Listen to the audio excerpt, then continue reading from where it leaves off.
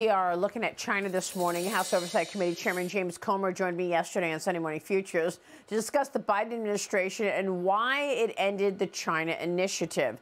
Comer wondering if, in fact, this is one of the decisions that Joe Biden made that he was actually paid for personally. Watch this. This is one of the worst decisions with respect to national security that Joe Biden made as president. The amount of money that China has sent Biden and Biden family uh, entities has has apparently impacted many decisions that, that this administration has made that were adversarial to every American. Our national security is at risk because of bad policy decisions that Joe Biden made that put China first and America last. Joining me right now, the Gatestone Institute senior fellow and author of The Coming Collapse of China and the Great U.S. China Tech War. Gordon Chang is with us once again. Gordon, this is all so extraordinary. Uh, the fact that these uh, decisions that the president has made are now being questioned. Your thoughts on the China initiative and uh, the effectiveness of it. And then, of course, when Joe Biden walked into the White House, he canceled it. Yeah, the most uh, the most serious national security threat to the United States, of course, is China. So why the FBI would end their China initiative is just perplexing. Got to remember that we still have six Chinese police stations on our sovereign American territory. I mean, two in California, one in New York, and one each in Texas, Minnesota, and Nebraska. And, you know, we didn't learn about this from the FBI. We learned about this from the Spanish based NGO, Safeguard Defenders, as well as the New York Post. This is just amazing. You know, Maria, um, in the middle of March, a spokesperson for Hunter Biden's legal team said that the Chinese state company, state company, paid the Biden family, you know, more than a million dollars as, quote, um, good faith seed funds. Well, that's an admission of corruption because corruption is the only explanation why a Chinese company in a commercial setting would pay money in that way. It's just extraordinary when you think about all of the money that the Biden family has taken in. This is the president of the United States. How are we expected to uh, believe that he's going to be making decisions on behalf of America? Uh, relative to our number one adversary after having taken $10 million in, at least, from these uh, state owned companies. Yeah, the big test will be whether the president will issue that long expected executive order prohibiting investment into China's tech sector.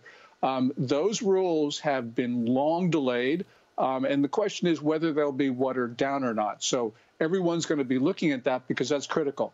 And, you know, yeah. if Biden doesn't want to defend the United States, then he just shouldn't be president. Well, it's just uh, very scary knowing that the China initiative was canceled, and we have to wonder why. What do you think is going on at these police stations, Gordon?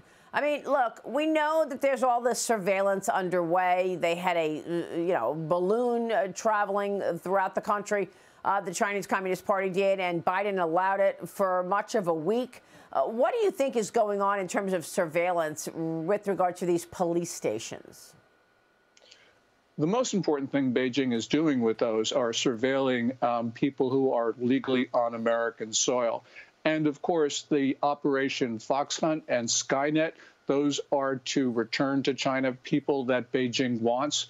So these police stations have been involved in that. And we know that. We don't have to speculate it because there is Chinese propaganda that is boasted that the now closed uh, New York station, um, the one in Chinatown, uh, there's still one more in New York, by the way, but the one that was closed was actually involved in um, bringing back to China uh, people that uh, were considered fugitives. So right now we uh, have to look at this and say, you know, the FBI is not doing anything about it because those six locations are still operating.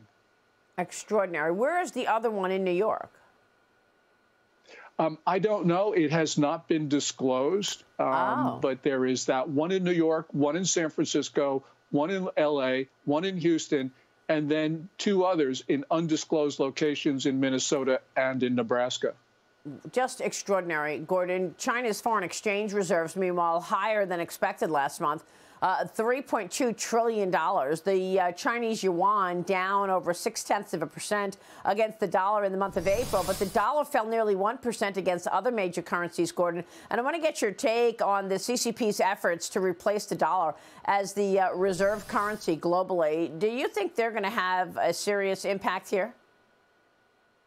Um, Actually, I think the only country that can dethrone the dollar is the United States. And we can do that uh, with wild spending and inflation, which mm. means Biden's doing a very good job of it.